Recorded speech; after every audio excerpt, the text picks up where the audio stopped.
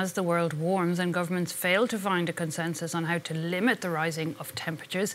Another potential path is starting to be forged. It's geoengineering, a process of controlling the elements, dimming the sun, sending aerosols into the atmosphere to tweak the Earth's atmosphere and to cool the planet, keep temperatures at levels humans can handle. But what could such schemes lead to and who would control them? Well, to get more insight on that and indeed the state of our world in general, we can speak now to the Director of Geoscience Department at the ENS in Paris and climatologist Fabio D'Andrea. Thanks so much for your time. Can I start by asking you a lot of us are only starting to hear about them, but can you tell us a little bit more of what exactly is geoengineering? Well, actually, the word geoengineering en encompasses many different things. And the one you were mentioning, the solar radiation modification, is one of those, and it's one that is particularly worrying. You have to think that we will need some way to remove uh, gas, greenhouse gas from the atmosphere and that is will be required because to meet the, the objective of, of the Paris Agreement. But what the solar radiation management wants to do is actually to spray aerosol in the stratosphere to limit the sun. And this is very, very, very worrying because we don't know the consequences that it would, would, would have.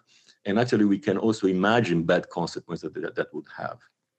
Indeed, I have a memory of us trying to limit aerosols because it was damaging the ozone layer. Actually, uh, we were limiting some chemicals in the stratosphere to uh, to save the ozone layer, and that was a big success. Uh, aerosols, in this case, are little a little dust uh, powder, and uh, it has more of a radiative effect. It shades the sun. But the problem is that you have to keep doing it, and if you stop, the heat will come back again, and there will be a rebound effect. And then also there are effects that we don't control on uh, the pattern of precipitation, the pattern of drought, and also an effect on the photosynthesis of plants. And these are all things that we cannot play with. Now, the worrying thing is that there are actors out there that are also public, state actors, but also private actors that have the financial power to do so. And so it's very worrying that some wackos could start doing these things.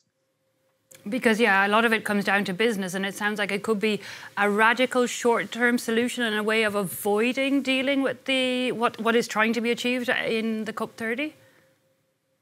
It would not be a, a solution. Actually, it would possibly reduce temperature. But for example, it will not stop the acidification of the ocean that depends on the presence of CO2 in the atmosphere. So it's not even a good uh, solution not even a short time one. So where do you think, I mean, you mentioned there when uh, people took on the CFCs, the chemicals in the aerosols, it was with dramatic success that the, the world rolled things backwards and improved our environment on that level. So where do you think we actually stand today at that, as that COP30 opens?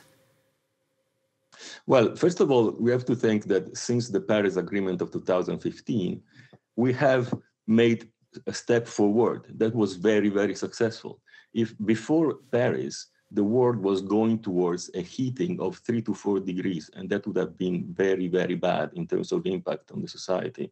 Now, with, with the pledges that have been done by, this, by the different countries, we are heading towards a 2.6, 2.8 increase in global temperature. So we have done things, that's possible. And now, in this COP, things have to be uh, more ambitious, and the objective of the states must be even more ambitious. Uh, some countries have started doing uh, increasing their uh, their um, their pledged uh, objectives. For example, China, for example, the European Union. So it's actually possible. What I'm worried about is that the political climate has changed a lot, and you know it's no surprise. It's because of uh, what happened in uh, in Washington with the Donald Trump administration, and this change of, of climate climate in policy, political climate can be very bad for once for the negotiation at the COP, but also for uh, the economic tissue, the investors, the person that have to put money in transition technologies, in transition of energy. This is very bad. And That is what I'm worried about. But I think that the COPs are very important moments. I mean, when I when you're not involved directly, you see a lot of pledges being made, but it's interesting to hear that they do translate into action. That we're already seeing a positive result because it seems like a lot of talking, a lot of hot air, and not really progressing in the right direction. And as you say, in Washington now we have a president who denies that climate change exists. Yeah, it is worrying, but don't forget that we have done things before the uh, the COP 15 in Paris things were looking much more bleak, much bleaker than they are now. We have done some advances, so that is possible. And actually, there is an energy transition that is is is following its course. You know, uh, renewable energies are cheaper; they are taking over. So we just have to be the winner of this energetic transition and not the losers. Is that the main way forward? Is it switching from fossil fuels to uh, cleaner technology, which we are seeing China lead the field in? That is one of the way forwards. That is absolutely necessary, but it's not all that is can, that can be done and that has to be done. There is a transition in the production of energy.